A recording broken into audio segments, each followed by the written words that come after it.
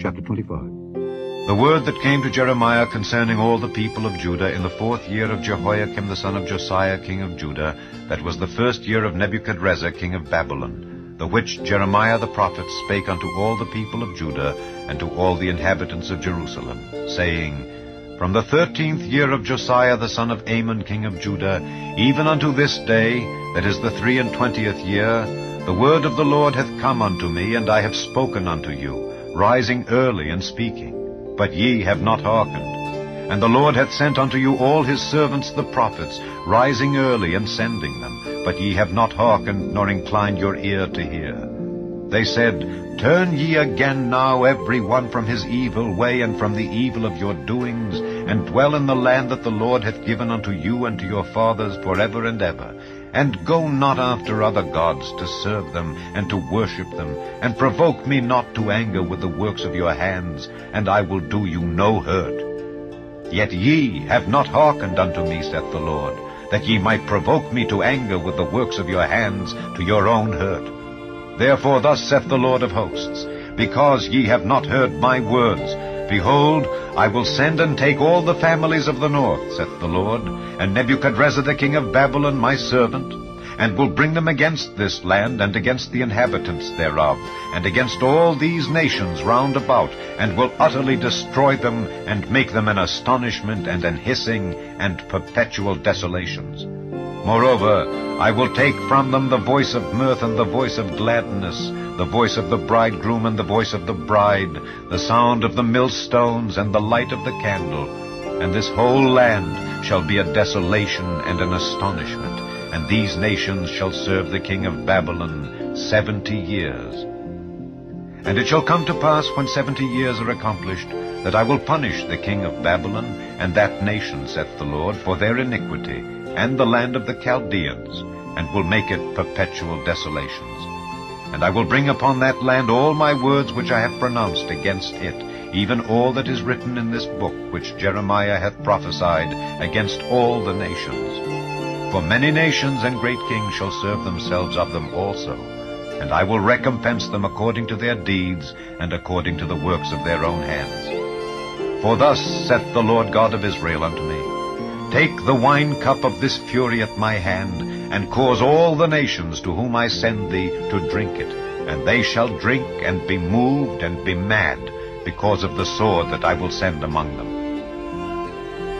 Then took I the cup at the Lord's hand and made all the nations to drink unto whom the Lord had sent me, to wit, Jerusalem, and the cities of Judah, and the kings thereof, and the princes thereof, to make them a desolation, an astonishment, and hissing and a curse, as it is this day.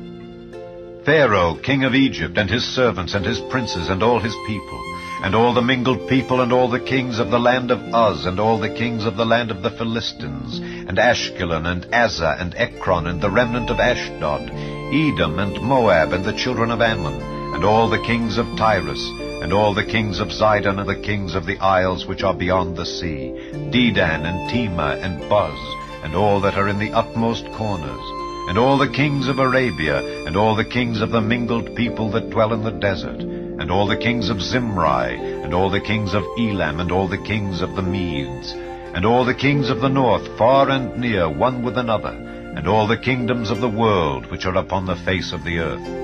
And the king of Sheshach shall drink after them. Therefore thou shalt say unto them, Thus saith the Lord of hosts, the God of Israel, Drink ye and be drunken, and spew and fall and rise no more, because of the sword which I will send among you.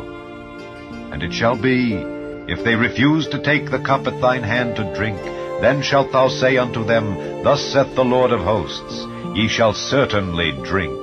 For lo, I begin to bring evil on the city which is called by my name, and should ye be utterly unpunished? Ye shall not be unpunished, for I will call for a sword upon all the inhabitants of the earth, saith the Lord of hosts. Therefore prophesy thou against them all these words, and say unto them, The Lord shall roar from on high, and utter his voice from his holy habitation.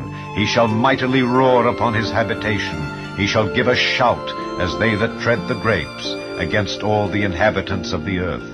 A noise shall come even to the ends of the earth For the Lord hath a controversy with the nations. He will plead with all flesh.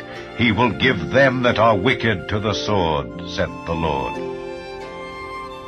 Thus saith the Lord of hosts, Behold, evil shall go forth from nation to nation, and a great whirlwind shall be raised up from the coasts of the earth. And the slain of the Lord shall be at that day from one end of the earth even unto the other end of the earth. They shall not be lamented, neither gathered nor buried. They shall be dung upon the ground.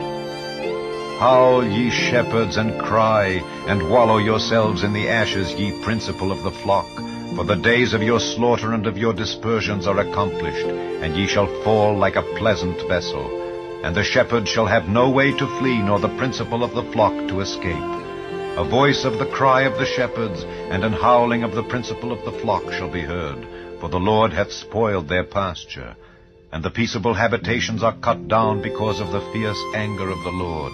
He hath forsaken his covert as the lion, for their land is desolate because of the fierceness of the oppressor, and because of his fierce anger.